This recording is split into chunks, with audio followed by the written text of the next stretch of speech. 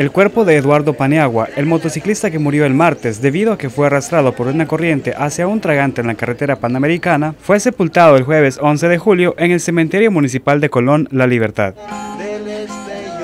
Entre alabanzas y arreglos florales, su vida fue celebrada por amigos y familiares. Una de las maneras como sus amigos lo recordaron fue por su pasatiempo de haber sido árbitro de fútbol, pasión que llevó a convertir su casa en una escuela para árbitro.